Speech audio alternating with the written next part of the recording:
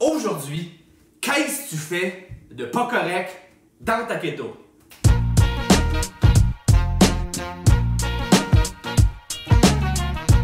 Donc, truc numéro 1, roulement de tambour, manger trop transformé. Si vous avez fait ces changements-là, là, c'est certainement pas pour continuer de manger de l'alimentation industrielle. ok? Ce qu'on veut, puis c'est la principale erreur que tout le monde fait, c'est diminuer le nombre d'aliments transformés. Allez pas manger keto transformé puis keto fast food. Ce qu'on veut, c'est de revenir avec une alimentation qui est instinctive. Ce qui m'amène à mon erreur numéro 2.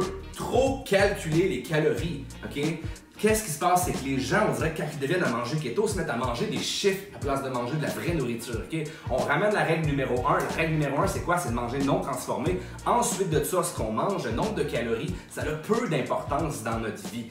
On va quand même, si on augmente nos gras, avoir des corps cétoniques, des calories aussi à profusion pour évoluer. Et là, c'est ce qui m'amène à mon erreur numéro 3. Puis c'est encore une fois, même si ça fait des millions de fois qu'on le dit, il faut manger du gras. L'erreur numéro 3, c'est quoi? C'est que vous ne mangez pas assez de gras. Donc, s'il vous plaît, dans votre alimentation, OK? La majorité des gens se mettent à couper les glucides, mais n'augmentent pas leur gras. Donc, qu'est-ce qui se passe? Que vous vous retrouvez en déficit calorique?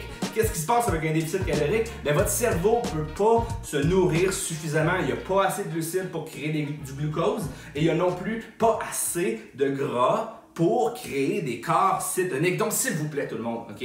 Les trois règles, les trois erreurs qu'on fait, c'est super, super, super simple à éviter. On diminue les aliments transformés, OK? On arrête de calculer, on mange de fonction de manière instinctive. Et la troisième, c'est pas compliqué, on augmente nos foutus gras, s'il vous plaît.